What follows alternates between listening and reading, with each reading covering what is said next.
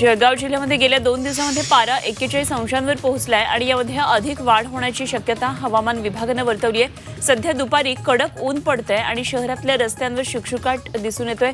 उन्हाच्या उन्हापासून बचावासाठी नागरिक टोपी रुमालता वापरतात. थंड पेय उसाचा रस मठ्ठा अशा पदार्थांचं सेवन करताना दिसतात